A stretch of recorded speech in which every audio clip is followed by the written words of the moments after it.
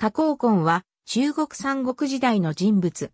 義の皇親で義の皇室と縁の深い相続の加工氏出身。しかし、他の加工姓の名を知られた人物らとの系譜上の連種関係は不明。宋英の時代、両党の高孫縁が語の調略を受けて繰り返し不穏な動きを続けていた時、中両軍であった加工根は、高孫縁の父高孫康が服従した時の洗礼に習い、死者を使わして利害を解いた上で、高孫縁の範囲を抑えるべきだと奏上した。その後、両軍将軍を拝命した。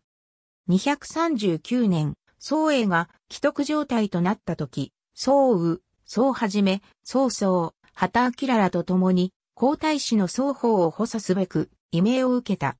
しかし、劉邦、孫氏は宋羽に変えて、曹操を貢献とし、さらに、芝居に協力させるよう求めた。加工根は、宋浦と共に更迭されてしまい、互いに涙を流したという。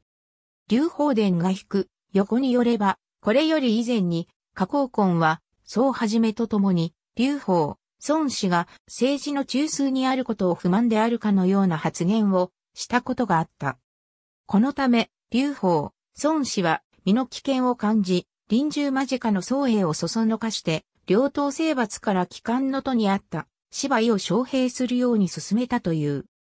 加工権が先手を打つため、宋雨を通じ、芝居に長安へ赴くよう命令を出したが、劉邦たちからの命令も間もなく芝居のもとに到来したため、芝居は都で返事が起きたのではと判断し、急いで都に帰還したという。その後の加工根の動向は不明である。ありがとうございます。